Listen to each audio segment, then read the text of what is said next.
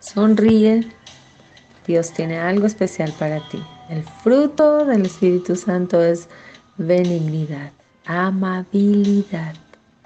Así que sonríe. Hoy vamos a regalar una sonrisa con gentileza a todos. Deja esa cara triste, esa cara bravo y qué tal si cambias tu braveza por una sonrisa hermosa. Porque te ves más linda o más lindo cuando sonríes. Sonríe. es hermoso poder sonreír. Dice la palabra del Señor en 2 de Timoteo 2:25, corrige tiernamente a los que se oponen a Dios por si acaso Dios les da el arrepentimiento que conduce al pleno conocimiento de la verdad.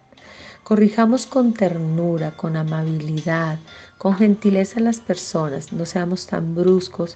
Cuando las personas no quieren recibir las cosas de Dios, debemos dejar que llegue su tiempo y su hora, no obligado, no forzado, porque nada funciona así. Todo que tiene que ser tierno, venido del Espíritu Santo a los corazones. Nosotros no cambiamos a nadie. El que cambia, el que convence es el Espíritu Santo de Dios. Por eso, sé amable y sé gentil con las personas que todavía no abren su corazón para Él.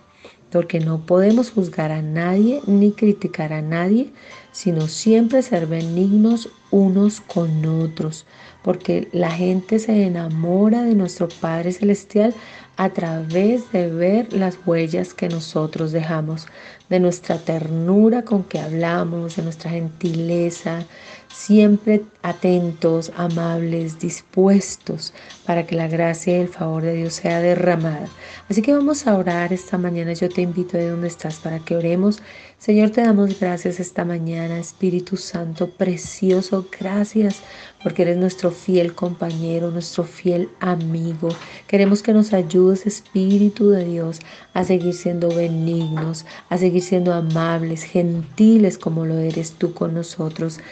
Ayúdanos a amar a todas las personas, Señor, a no tener excepción de personas, sino aceptar y amar a las personas como son porque a su tiempo llegará tu presencia que los invadirá a cada uno de ellos. Hoy ponemos a todas esas personas que creemos que todavía no se han podido acercar a ti y te damos gracias por ellos y declaramos tu presencia, tu soberanía, que tu Espíritu Santo es el que los convence y les habla a su corazón de que tú los amas, Señor, así como un día nos hablaste a nosotros. Gracias por haber sido tan gentil con nosotros, Señor. Amén. Muchas bendiciones y regala una sonrisa. Feliz martes.